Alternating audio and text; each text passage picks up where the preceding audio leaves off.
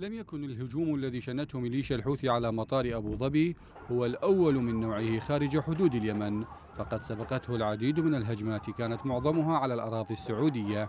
الهجوم الحوثي الذي أدى إلى سقوط عدد من القتلى والجرحى وانفجارات بمنطقة صناعية وحريق بمطار أبو ظبي شن بحسب ما ذكر المسؤول العسكري لميليشيا الحوثي بخمسة صواريخ باليستية ومجنحة.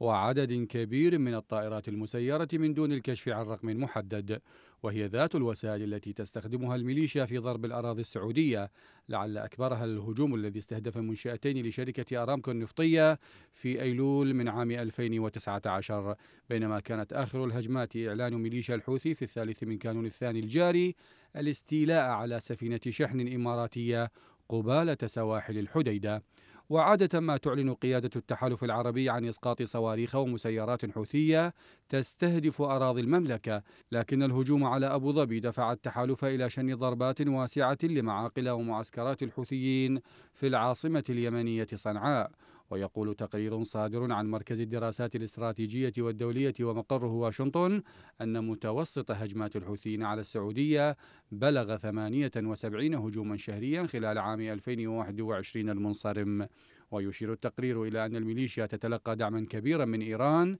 ومن ميليشيا حزب الله اللبنانية المدعومة هي الأخرى من طهران. ويعكس التصعيد الحوثي دخول الميليشيا مازقا حقيقيا في عدة جبهات حيث أعلن الجيش اليمني أن قواته بمساندة التحالف العربي تواصل التقدم جنوبي مأرب بعد أن فرضت سيطرتها على شبوة في وقت سابق بينما يبقى التدخل الإيراني والتفرج الدولي حجر عثرة أمام حسم الأوضاع في اليمن الذي يواجه أسوأ أزمة إنسانية منذ انقلاب الحوثي على الشرعية عام 2014